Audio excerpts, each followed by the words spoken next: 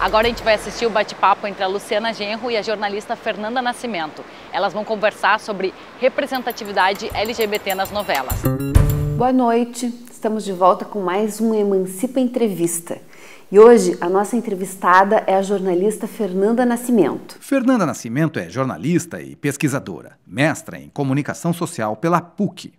Fernanda publicou o livro Bicha Nem Tão Má, onde analisa a representatividade de personagens LGBTs em telenovelas. Fernanda Nascimento também é fundadora do coletivo Gemes e doutoranda em Ciências Humanas pela UFSC. Oi, Fernanda, muito obrigada pela tua presença, por esse bate-papo aqui com a gente. Eu queria começar falando um pouquinho de ti. Tu é uma mulher negra, lésbica, oriunda das classes populares, que te formou, fez mestrado, está fazendo doutorado e resolveu analisar as novelas e os personagens LGBTs que estão nas novelas. Como é que tu chegou nesse, nesse momento da tua vida? Uh, então, obrigada pelo convite. Foi uma elaboração assim desde a graduação de vir pensando sobre como essas narrativas de entretenimento nas telenovelas são importantes para as nossas vidas, né? Foram importantes para a minha vida e não são importantes somente para as pessoas que vêm de classe popular, são importantes para a sociedade como um todo, né? telenovela é o produto de entretenimento que entra na casa de todas as pessoas. Uhum. Então, passa pela minha identidade pensar sobre essas representações, né? Pensar sobre esses personagens que falam sobre as nossas vidas, sobre as nossas vivências, né? Então, uh, me parecia importante pensar e analisar essas representações, mais do que dizer, ah, os personagens das novelas são todos caricatos. Né, que é um senso comum dizer, ah, os personagens têm muito sapatão nas novelas, tem muito gay. Uh, de fato, quantos gays, quantas lésbicas, quantos bissexuais, quantos travestis, transexuais a gente tem nas novelas? E sobre esses atravessamentos, então, que perpassam a minha vida e de todas as pessoas, como é que esses marcadores estão presentes, né? Essas pessoas que estão, essas representações que estão nas novelas, elas representam LGBTs de que classe? Elas não representam, por exemplo, negros. Né? Na minha pesquisa, a gente vai ver que 126 personagens, entre 70 e 2013, só uh, quatro são negros. Então, que LGBTs E tu analisou especificamente as novelas da Globo? Isso, as novelas da Globo por uma questão de ser uh, ter uma memória mais uh, disponível do que das outras emissoras, uhum. né, que também não tem uma tradição de exibição de telenovela tão grande quanto a Globo, que exporta para outros continentes, né, para vários países do mundo. Então, passo pela minha trajetória de vida, né, de ter acompanhado as novelas e tal, e também... Tu é noveleira? Eu sou noveleira.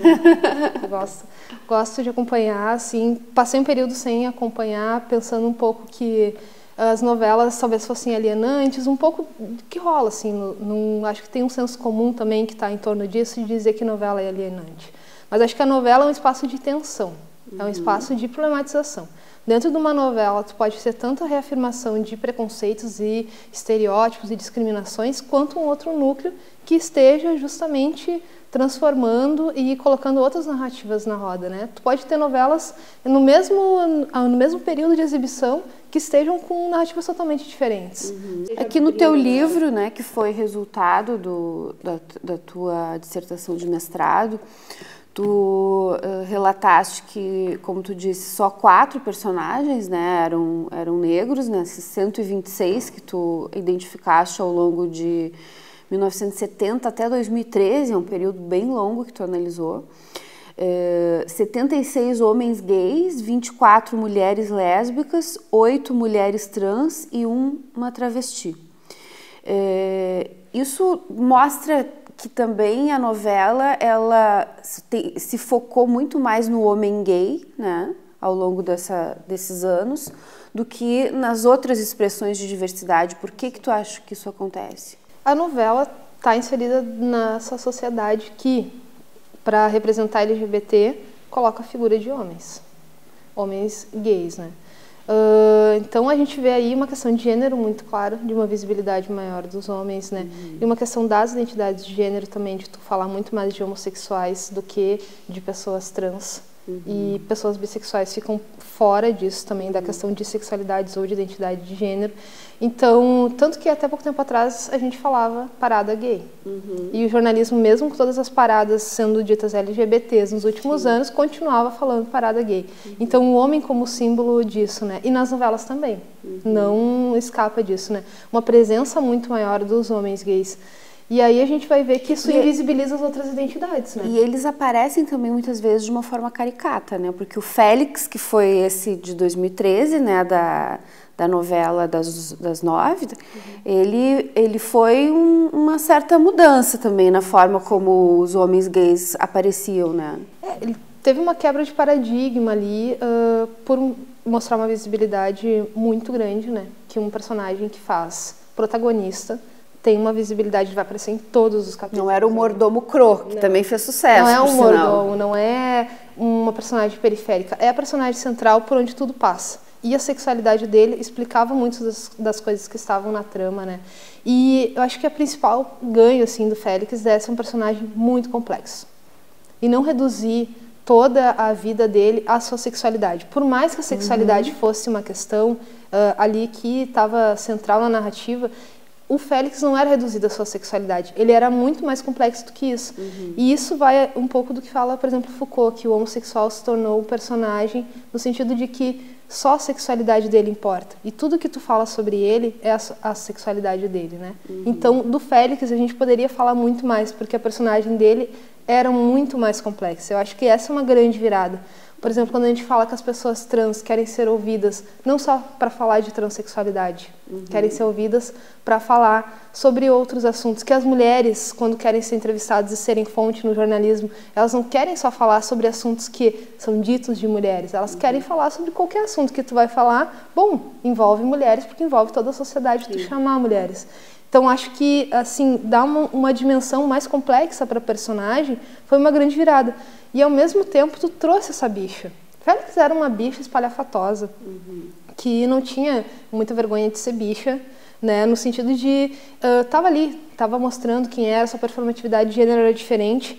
Então ele uh, não era esse mordomo, cro que a gente está acostumado, mas também não era aquelas personagens heteronormativas que a gente tem visto nos últimos anos, uhum. que é muito uma inclusão pela higienização, assim dizer, olha, seja bicha, seja gay, mas seja é. discreta, né? É, é aí que entra esse conceito de visibilidade regulada que tu trabalhou no, também na tua dissertação, de que uhum. se mostra, mas se mostra de uma determinada forma, mais asséptica, mais aceitável, é isso? Sim.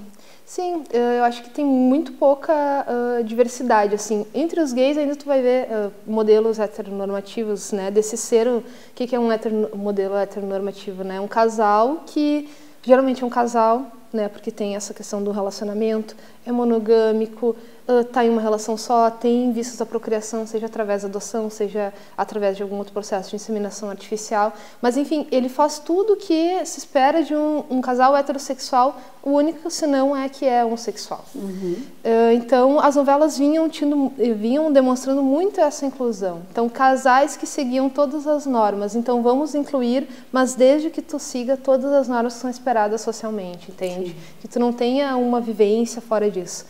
E uh, essa, essa visibilidade regulada tem a ver com isso, tem a ver, por exemplo, com o fato das mulheres lésbicas das novelas não serem sapatões. Uhum. E uma coisa que eu digo. E eu posso usar esse, esse, esse conceito para uma outra situação também que tu te referiste agora sobre é, as mulheres trans serem chamadas para falar sobre a questão trans. As mulheres, em geral, serem, falados, serem chamadas para falar sobre a questão do feminismo, por exemplo, temas atinentes às mulheres. Eu tive agora na, nos Estados Unidos e participei da People Summit, que foi um encontro das esquerdas norte-americanas que apoiaram o Bernie Sanders. E uma das mesas finais e das mais importantes era composta só por mulheres. E não era para discutir questões das mulheres, era para discutir o futuro da luta da esquerda norte-americana que me chamou muito a atenção justamente porque aqui no Brasil a gente só vê mesas com mulheres, se for para discutir coisas das mulheres, mesas com trans para discutir questões trans. A visibilidade regulada também pode se encaixar aí, quer dizer, eu dou visibilidade para as mulheres, mas desde que seja para falar sobre temas das mulheres, não para falar sobre as questões mais amplas. É Sim, é isso também. E a gente vai pensar o que são temas das mulheres, né? As mulheres discutem todos os temas, mas Sim. aí nos enquadram em temas das mulheres, Sim. da ordem doméstica. Então, Sim. essa regulação do gênero operando o tempo todo, da sexualidade operando. Mesmo quando tu for pensar, por exemplo, o que se espera que eu pesquise? Por mais que isso para mim me engaje, está na minha identidade e me movimenta, uhum. as pessoas LGBTs se espera que elas pesquisem sobre LGBTs. As pessoas das pessoas negras esperem que elas falem e pesquisem sobre coisas de, da população negra. É claro que a gente tem que falar por nós. Né? Claro que a gente tem que nos mobilizar, mas a gente pode falar de outras coisas também. E aí a visibilidade regulada está nisso também, em te dizer que espaços que tu pode uhum. ocupar e de que forma tu pode ocupar e não te ouvir para as outras as outras temáticas, Sim. né? Bom, e amanhã, dia 28, é o Dia Internacional do Orgulho LGBT, né? E, e essa temática LGBT ela tem uh, sido cada vez mais forte né, na, na sociedade brasileira e no mundo inteiro. Recentemente, inclusive, a gente teve o caso daquela série né, do Netflix, do Sense8, que é maravilhosa, que gerou um movimento nas redes por ela ter sido suspensa. Né? Tu acha que essa luta que tu é, encabeça, que tu é parte fundamental. Eu também me sinto parte, apesar de não, ter, de não ser LGBT, acho que foi importante aquele momento da campanha presidencial para trazer visibilidade a esse tema. Tu acha que a nossa luta está avançando? Porque tem muita gente que está muito temerosa de retrocessos, né? até porque no nível político nós temos uma situação política realmente bastante ameaçadora. Mas nessas pautas, a, a impressão que que eu tenho é que a, gente, tem conseguido avançar bastante, né? Eu penso que sim, assim, que a gente teve um, um boom até de, em termos de legislação, assim, na, no campo jurídico, várias uh, esferas de reconhecimento, né? E as novelas também têm contribuído para isso. Acho que a sociedade tem se movimentado bem nesse campo, mas os retrocessos, como a gente sabe, em todo campo é avanço e retrocesso o tempo todo, né? Se tu não lutar pela permanência disso, a, a chance de cair diante desse contexto conservador é muito grande, né? É uma luta difícil, mas que a gente está avançando. Vamos continuar. Espero que sim, né? Espero que a gente consiga uh, avançar, frear essa bancada conservadora que está, por exemplo, querendo brecar personagem em novela. Uhum. O nível que a gente tem hoje dessa discussão conservadora é, é, é elevadíssimo, né?